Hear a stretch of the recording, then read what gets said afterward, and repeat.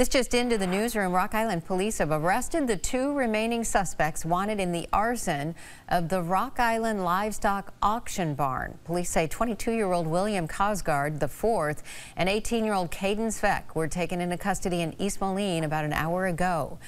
Anyone with information on the fire is still asked to contact the Rock Island Police Department or Quad City Crime Stoppers.